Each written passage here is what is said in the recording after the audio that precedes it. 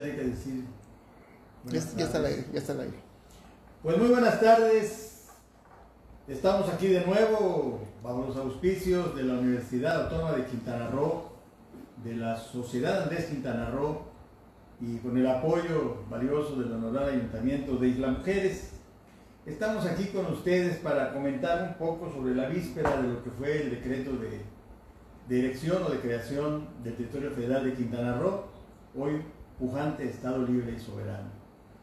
Eh, nosotros, como saben ustedes, somos parte del Comité Honorario de las Mujeres, integrado eh, eh, por gente como el señor licenciado Remigio Sánchez Tinchán, como el que les habla, como el licenciado Jesús Contreras Gómez, eh, y algunas personas más como don Enrique Lima Zuno, y bueno, somos un equipo que periódicamente, agradeciendo la oportunidad que nos dio la Universidad de Quintana Roo, particularmente, estamos haciendo presentaciones sobre tópicos de lo que era la entidad. Venimos desde marzo y estamos a dos, tres meses ya de terminar. Bueno, pues entrando en materia, reiterar el agradecimiento también al gobierno y las mujeres. Entrando en materia, vamos a presentar esa víspera, englobando primero todo lo que para mí es, desde mi punto de vista, es eh, el antecedente que es la guerra de castas, ¿sí? y con todo lo que duró esa guerra, que yo le llamo por ahí la guerra que no termina, porque con el apoyo inglés sabemos que se prolongó, hasta que al final intervino el gobierno federal y terminó este, con ese conflicto que parecía eterno. Eh, en realidad desde 1848 los americanos ya tenían preocupación por ese apoyo inglés a los mayas. El apoyo podríamos retrocederlo a principios del siglo XVIII, cuando menos, en que pues, los mayas compraban en Belice armas para cazar.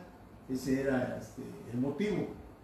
Pero luego que los, que los ladinos de Yucatán, los, los gobernantes de Yucatán, los, los políticos de Yucatán los armaron para dirimir sus diferencias entre Yucatán y, este, vamos a decir, Mérida y, y Campeche, y este, los mayas aprendieron a usar las armas y un día voltearon los cañones hacia, hacia sus antiguos amos, buscando liberarse de un yugo que tenía más de 300 años. Para 1848 entonces ya había inquietud en los americanos por ese apoyo inglés que decían iban desde la, la última carta de Hempstead, de Hempstead dice están ocupando de la- desde la punta de los mosquitos hasta el cabo Catoche. Era tal la, la simbiosis, este, el acuerdo que había entre mayas e ingleses o británicos, que bueno, aquellos, al tardarse un día de 1850 de enero de ese año, el, el- que era superintendente de Belice, el Fancourt, en llegar a una cita a la Bahía de la Ascensión, eh, se molestan, Venancio Peck, que es el líder formal en ese tiempo, junto con Florentino Chan, se dice dispuesto a ir a Inglaterra si, no lo quieren atender en Belice, pero bueno, se lleva a cabo la reunión, una reunión que había promovido incluso el gobierno de México, buscando terminar con el conflicto, pero para no hablar más eh, o mucho de este, de, este, de este evento que se dio este, en 1850, diré que los mayas establecieron, establecieron terminar con la guerra siempre y cuando se les dejara el territorio que va de Bacalar hasta Catoche. Entonces, obviamente los yucatecos manifestaron que no se debía ni un metro de, tierra y la guerra continuó. La cuestión es que para 1863 ya la guerra en sí está de- definida este, con dos bandos eh, fuertes en disputa y esos dos bandos divi- divididos en otros, eh, ¿cómo le llamaría yo? Subbandos, ¿no? O sea, los ladinos, los yucatecos divididos en dos grupos y también los mayas rebeldes divididos en dos grupos, uno que quería la paz, que eran los del sur, que tenían como base este, Chichanga en ese tiempo, luego el Caiche, y que, este, y que tenía conflicto con los Cruzó, que ellos pretendían acabar con los blancos. Ya habían, para 1863 estaba definido que no podían expulsar a los blancos de la península, pero que sí podían luchar por tener un territorio propio. Entonces, estos, estos pacíficos que no tenían mucho de, de ello, de Caiché, como generalmente los, llamamos, estaban liderados en 1853 por José María Sub, que es el que firma con, Campeche en sí y con Belice un, tratado de, de, paz que tenía antecedente en una propuesta que había hecho Jacinto Pat eh, antes que lo asesinaran, obviamente, ¿no? Y, que bueno, este, estaban de acuerdo en esto los de Icaichel, de Shanghai, de de esa zona, y por eso firmaron ese acuerdo de paz. Pero obviamente los, este, los Khrushchev no, y este, trataron de convencer a los pacíficos, no lo logran y entonces los atacan, desaparecen prácticamente del mapa Chichanjá, y este, pero no los acaban. Entonces, en el caso de, de María Sur, cuando muere él en 1864, lo suple, este, fue el más grande líder que tuvieron los pacíficos de Caiche, que fue Marcos Canul. Eh, ellos son aliados de México, son aliados de los ingleses, y Marcos Canul tiene un trato muy explícito en cuanto a que cualquiera que cometa un delito en el lado inglés, que sea maya, sea enviado a, a para ser castigado ahí, y viceversa, si un inglés violaba los acuerdos que tenían en Icaiche, lo mandaban los mayas para ser castigado. Pero como los ingleses no tomaban muy en serio estos acuerdos, eh, molesto, este, Marcos Canul había atacado en, abril de 1867, atacó Quan Hin y luego atacó también Indian Church por, por, estos tratos que no le cumplían. Y bueno, molestos por estos ataques, este, también los ingleses que surtían de armas a los Cruzov los asusaron contra los, contra los nuevamente. Y este, sin embargo, esta vez los Cruzov vencieron este, a los, eh, fueron vencidos en sí por los de que, que salieron fortalecidos. La cuestión es que el 1 de septiembre de 1972, Marcos Canul atacó Orinchuaca. Ahí, en una batalla célebre, resultó herido de muerte y bueno, de 180 soldados perdió 50 cuando menos. La cifra de los que llevó oscila entre 150 y 200, yo tomo un término medio. Del lado inglés hubieron tres muertos, pero esto provocó un reclamo airado del, del ministro inglés a México, por los daños que había causado Canur en. Por su parte, el ministro mexicano, que era José María Lafragua, fue muy contundente al responderle al ministro inglés de que Gran Bretaña era responsable para con México de los perjuicios que había causado la guerra con los mayas de Yucatán desde 1847 hasta la fecha. Entonces, en, ese, en esa situación de tensión que había ya entre México e Inglaterra, se imponía eh, definir límites. ¿no? El gobierno de México tenía además la presión del gobierno de Yucatán, de la legislatura yucateca, desde siempre con, constantes solicitudes y hasta súplicas de que interviniera el gobierno federal para terminar con la guerra de, castas. Ejemplos de esto es que, por ejemplo, Daniel Traconis, al asumir la gobernatura de Yucatán, al asumir el gobierno en 1890, parte de su discurso es ese, ¿no? Y dos años más tarde, en el 1892, la legislatura de Yucatán también insiste en que el gobierno imponga una medida eficaz para acabar con esa guerra de casas que ya se había prolongado por tantos años. En fin, ya se había definido para ese tiempo un frente, un frente de guerra, una zona de guerra que estaba, este, Petro, Tijuana y Bacalar eran prácticamente la frontera. Y bueno, pues de más está decir que ese conflicto seguía vivo gracias a los ingleses. El gobierno federal ya con tantas solicitudes peticiones y presiones, don Porfirio Díaz Mori define terminar con el conflicto y, hay, y arman una estrategia, una estrategia que tiene varias eh, este, vertientes, si quieren, varios, varios puntos de sí que, este, que, consideran para terminar con la, con la guerra. Lo primero es un tratado de límites con Inglaterra, una colonización que llamamos porfiriana, eh, instalar faros y navegación al litoral, porque pues, en ese tiempo no había nadie que vigilara las costas y los ingleses estaban, por ejemplo, instalados en Boca Iglesia, y cortaban palos de tinta y demás a discreción. Eh, la instalación de una aduana este, al entrar al río Hondo, ya después del Tratado de Límites, para hacer valer el, el tratado. Y este, la campaña de pacificación por mar y tierra, muy importante, y ya lograr así el control de lo que fue, de lo que era toda esa región en conflicto con los mayas. Sintetizando, si quieren, pues el, en el caso del, del acuerdo del, del, Tratado de Límites que firmaron este, eh, Mariscal Spencer y Saint John, eh, el tratado en sí está integrado nada más con cuatro artículos. El primero habla de lo, de lo necesario, casi una recomendación, casi amenaza, de lo necesario que era conservar relaciones amistosas entre México e Inglaterra. El segundo artículo eh, se refiere a que las dos naciones prohibirían a sus súbditos este, o ciudadanos venderle armas a los mayas, ¿no? lo cual pues nomás estaba, estuvo en el papel,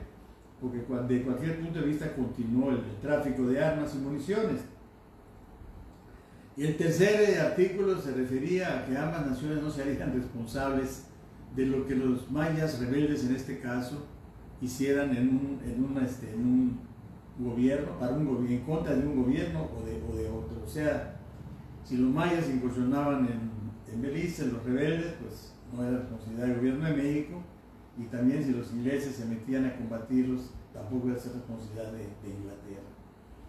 En fin, en realidad, hablando de tratados de límites eh, o, de, o acuerdos, no tanto de límites, sino de, de espacios eh, para que los ingleses aprovecharan el palo de tinte, sobre todo desde que empezó su revolución industrial,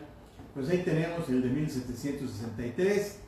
el de 1783, 1886 y obviamente el mariscal Spencer, que es el que nos, nos ocupa. Pero ya había antecedentes la colonización porfiriana, como le llamo, este,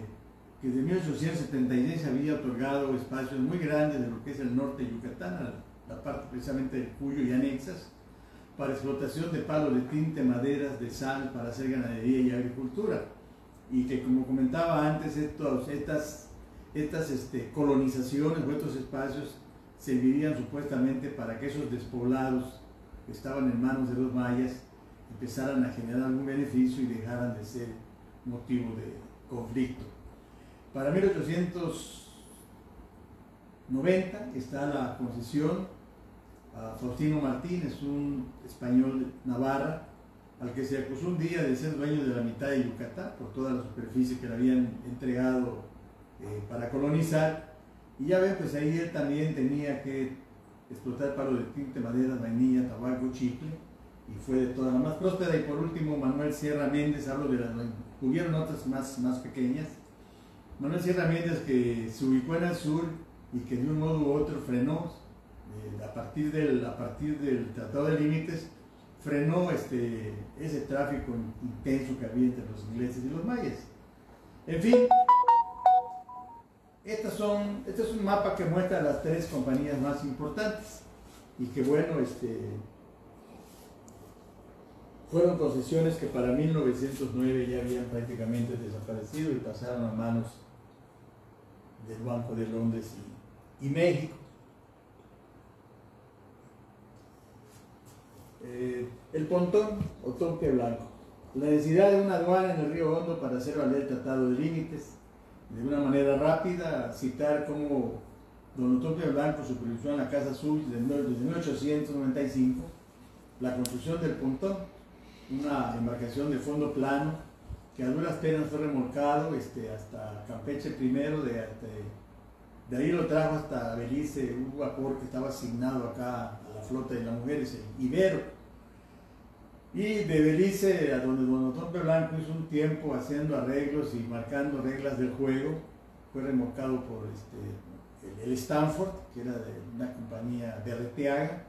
hasta la barra del, río Hondo, donde el pontón arribó, en diciembre de ese año. Eh, lo, inmediato fue que el 5 de mayo de 1898 Don Otompe Blanco fundara la ciudad de Payobispo, Chetumal. Y que bueno, es una historia bastante, eh, hasta dramática si quieren, una, una, una, historia épica de un tremendo esfuerzo de cómo Don Otompe Blanco fue convenciendo a los refugiados de la guerra de castas de origen mexicano, yucateco, que estaban en Corozal, en Belice, en Orinchuac. Solo en Orinchuac se dice que había más de 500, para que fueran a, fundar una ciudad nueva, un asentamiento nuevo este, en, en, eh, los faros, de los faros que diremos, fueron los guardianes de nuestra soberanía, donde no había nada, los faros empezaron a, a ser este, los vigilantes de la navegación y a, poder tener un control de toda embarcación que se aproximara a las costas. El primero de ellos, apoyándome en los maestros Alfredo César Lachar y Estela Burne,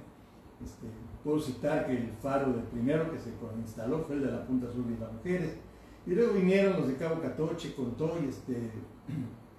eh, Cozumel, Chinchorro, el Iscalac y, este, y bueno, de tal suerte que la, nuestra, nuestro litoral quedó ya bien este, vigilado en este caso, que era lo que más surgía. Y bueno, la campaña de pacificación que fue en dos frentes y que necesitó de obras y preparativos, en 1899 se fundó en, en, lo que es Xcalaca, ahora el campamento de sombrerete para alojar tropas y, este, y para dar residencia a los obreros y se pensó, se, se llevó una draga, todavía es posible ver ahí los restos de esa draga Francisca Lac en la playa, para que dragara este, en el arrecife, eh, que, quedó de, en este aspecto muy bien el trabajo, pero en el acceso ya de la costa hacia la bahía de Chetumal no se pudo hacer el dragado hasta la fecha. El problema es que con el tratado de límites tal vez fue un descuido, pero no, nos dejaron una entrada con aguas hondas este, por Cayo Ambelis, por, este, por el Cayo, como y tuvimos que empezar a buscar este, una entrada, sobre todo para, para tropas, porque sí nos permiten navegar en aguas inglesas, pero no a, este, no a la marina, no al ejército, solamente para la, la marina mercante. Entonces, lo que se hizo fue instalar una vía de Cahuil entre Iscalac y la bahía de un lugar conocido como La Guada, y de ese modo se pudieron trasladar todo lo necesario para la campaña de pacificación, que para 1901 el, este, don José María de la Vega, un marino él, estaba listo para tomar Bacalar al frente de 350 soldados. Y este, esa campaña realizada por mar y tierra, en la parte que le correspondió a, José María de la, de la Vega, él salió de Iscalac el 20 de marzo, tomó Bacalar a principios de abril. Y por el otro lado se cerró la pinza del famoso general Ignacio Abravo, que él salió de Peto y, eh, para el 4 de mayo estaba en Santa Cruz. En ambos casos no, no vieron realmente combate, los mayas se retiraron de sus reductos, se internaron más en las selvas, a Chompón, a Tusica, señor, a otros, otros sitios para instalar su guardia de la cruz. Y con estas acciones se consideró concluida la guerra de castas, ¿sí? ya don Porfirio Díaz quedó eh, listo para crear un territorio federal eh, en, aquellas tierras donde los yucatecos no pudieron antes poner, eh, poner paz. Aquí tenemos las imágenes, este, ojalá alcancen a verlas todas, de Otompe Blanco, don Porfirio Díaz, don María La Vega y don Ignacio Bravo, eh, quienes fueron protagonistas los más importantes de todo ese esfuerzo que se hizo del gobierno federal para terminar con la guerra de castas. Y bueno, este es el plano de Yucatán de 1900, hacía lucía Yucatán la víspera de la creación de Quintana Roo. Eh, como ven, Yucatán, lo que está en rosado, era una superficie bastante, no, no es lo que fue la Capitanía General de Yucatán, pero sí este, aún era una superficie bastante importante. Ya Yucatán disfrutaba del, del oro verde, era una, este, un estado, voy a decir, próspero y a Campeche no le iba mal, como a otros puertos con, el, con la importación y exportación. En fin, ya terminada la campaña de pacificación, don, Porfirio Díaz eh, habló de las razones que tenía para conservar en paz los territorios recuperados, habló de dotarlas de tierras, de caminos, de repoblar con gente, gente sana, gente, gente, se refería a gente que no estuviera en guerra con nadie, y de que era gente que se dedicara a trabajar. Eh, hizo hincapié en que ni Campeche ni Yucatán habían podido terminar con esa guerra de castas, ¿no? y por ello tendría que formar en esos espacios un territorio federal, que esa nueva entidad se llamaría Andrés Quintana Roo, un héroe insigne de nuestra independencia. El proyecto de, decreto, pues de, a él en realidad desde 1888, 14 años antes o 13 años antes, a don Porfirio ya lo sabían. Hay por ahí un ministro de apellido Herrera que fue el que le estuvo eh, convenciendo de la idea de que pues, de nadie va a servir toda la campaña de pacificación, todo lo que se había hecho, si las tierras continuaban siendo dependiendo de Yucatán, los mayas se seguirían alzados en armas, sería una inversión inútil. Y por ello le encomendó a Manuel Sierra Méndez los estudios de factibilidad. Don Manuel Sierra Méndez se los entregó para 1898 y para 1901 el general Bernardo Reyes, secretario de Marina, ya estaba solicitando al secretario de Nación que iniciara ante la Cámara de Diputados el proyecto de reforma, un proyecto de reforma que luego realizó don Porfirio Díaz ah, y que devolvió a la Cámara ya, ya definido, incluyendo todas las razones que tenía para crear una nueva entidad donde antes había sido una zona de conflictos.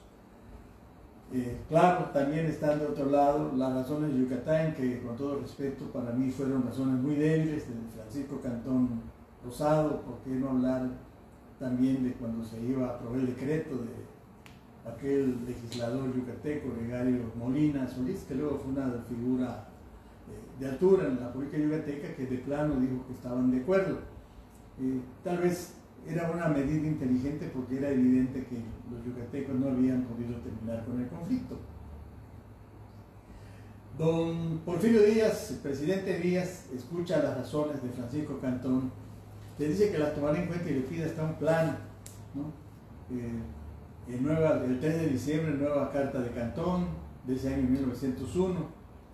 que pide que el, nuevo territorio ocupe de Tulum hacia el sur y, de Tulum hacia, hacia, el oeste, hacia el punto, al famoso punto Put. Y, le propone este plano que vemos aquí en, pantalla. Un plano que, este, que dice, ahí pueden ver ustedes al centro, se ve, al centro del plano se ve, se ve la línea del lado, este, al centro en sí, donde la línea parte de Tulum hacia el punto Put con eso de que cerca del punto put, pues nadie sabe qué tan cerca, qué tan lejos del punto put, y eso ha sido motivo de conflictos hasta la fecha. Pero bueno, esa es la propuesta del general Cantón, sin embargo, hay que debo de, comentar este, que parecía razonable la petición del general, del gobernador de Yucatán, Cantón, a partir de que la parte, esa parte norte que él quiere conservar, eh, pues destacan allá las islas de Cozumel, Mujeres, Holbox, que ya son este, eh, eh, poblaciones consolidadas y dependiendo de Yucatán, incluso como parte de su economía. Entonces, Don Porfirio no hace caso de las razones del general Cantón y el 24 de noviembre de 1902 decreta, ¿sí? se publica más bien el decreto que le, da, que le da vida a una nueva entidad como lo es el territorio federal de Quintana Roo. Así nace nuestra entidad, esta que hoy, este, en el marco de las conmemoraciones que lleva a cabo la Universidad Autónoma de Quintana Roo,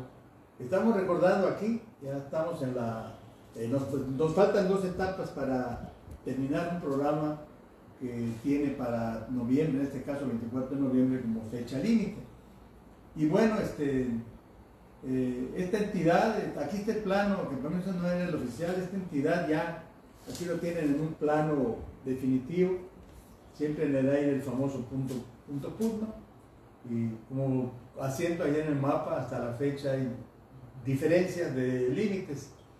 Pero bien, amigas, amigos, así nace Quintana Roo. Eh, yo aquí, desde aquí quiero agradecerle mucho, ustedes ven que se mueve la cámara nosotros somos un comité que está integrado por varias personas en Isla Mujeres, hablaba hace un rato de, nombres, pero sí quiero reiterar el reconocimiento al licenciado Luis Ramiro Sánchez Tinchán por la valiosa aportación que ha hecho este, como secretario, se ha echado prácticamente el trabajo. Y pues nos ayuda aquí a grabar, también yo ponga la información, pero ha sido un trabajo en equipo que va a quedar allá, no solo en la universidad, aquí en Isla Mujeres, para consulta, para este, incluso para cuestionamientos, ¿no? Eh, todos tenemos a veces puntos de vista distintos y hablamos en función de la lectura de los documentos que se tienen a la mano.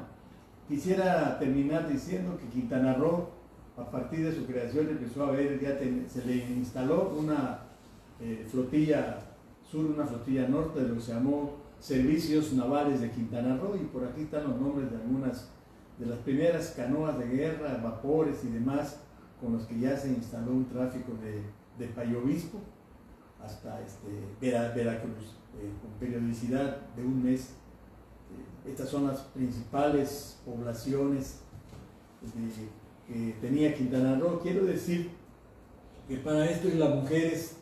y las mujeres pasa de Yucatán a Quintana Roo como partido de las islas. Y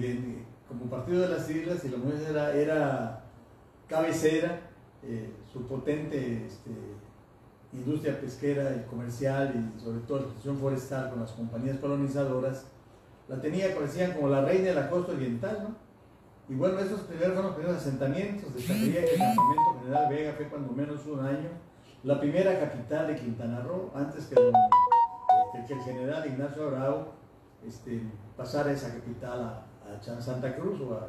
Carriopuerto, como se llamó después. En fin, este, eran los principales asentamientos y voy concluyendo este, con los primeros, este, las primeras divisiones fueron dos distritos norte y sur. El prefecto político tenía sede en las mujeres, el, del sur está en Guadalajara. Y este, dedico este trabajo también a gente como Graciliano Sánchez Azueta, que fue de los fareros que empezaron a, a residir, a vivir ahí en la soledad de los faros, fueron los primeros guardianes, fueron héroes anónimos. Y no debemos olvidarlos porque ayudaron a forjar lo que es hoy Quintana Roo. Pues bueno, estamos a sus órdenes aquí en la oficina del cronista, en la mujer de la mujeres, en Mundaca, y pues con mucho gusto, con mucho gusto, este, cualquier dato adicional que gusten, este, pues se los pasamos por ahí, este, ofrezco una disculpa porque no incluí, son como seis páginas la bibliografía que ocupé no ahora, de muchos años que vengo trabajando con, con, ella para haber integrado este trabajo. De nuevo, mi gratitud a la Universidad Autónoma de Quintana Roo, a la Sociedad Andrés Quintana Roo, al Gobierno Municipal de las Mujeres y particularmente a ti, Remigio Sánchez, que no te ves, pero que haces tanto. Muchas gracias y muy buenas tardes.